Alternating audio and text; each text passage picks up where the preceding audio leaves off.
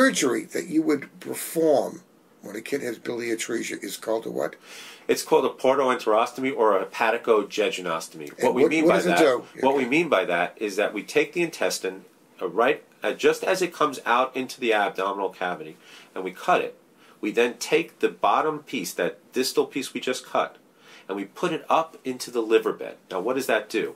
It acts as an opening when we have scored the base of the liver, like we said before.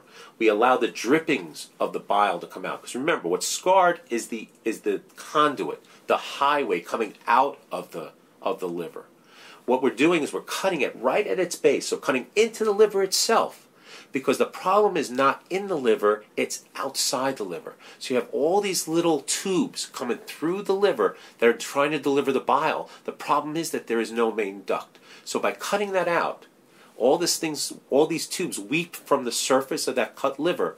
If you put a loop of intestine up there and sew it in, the drippings will then go into the intestine and be able to go into the GI tract. And then a little further down, you reconnect the GI tract so it's in continuity. And the critical point is you try to make the diagnosis earlier, not later. Is that correct? Exactly, because that will help improve your chances of having good bile flow because you don't want to wait too long. If you wait too long, then there'll be irreversible damage within the liver that will not be able to help you.